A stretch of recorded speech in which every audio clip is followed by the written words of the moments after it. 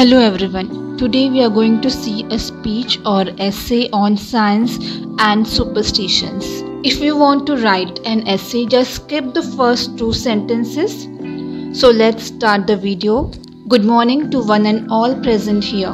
Today I'm here to present a speech on science and superstitions. Science has made tremendous progress during the past few decades. It has brought improvement in many fields like agriculture, entertainment, medicine, education, etc.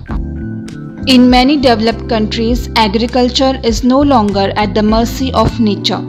Technically advanced farming equipments, highly fertilizing chemical manures, etc. has made farming more efficient. Science has made great wonders in medicine and surgery.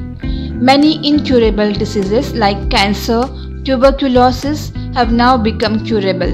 Surgeons can now replace many important organs of human body like heart, kidney, etc. With advanced science and technology, education and entertainment field is greatly benefited.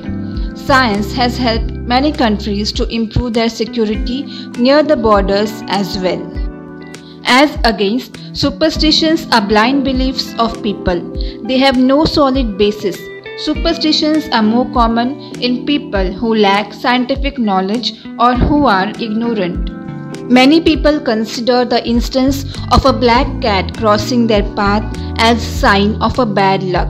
Watching a one-eyed person while starting a journey is also considered unlucky by many. However, the sight of a newly married woman is considered as a sign of good luck. Superstitions are commonly found in illiterate people. Spread of education and scientific knowledge is necessary to deal with the situation. We all can take efforts and spread awareness amongst people about science to combat superstitions. Thank you.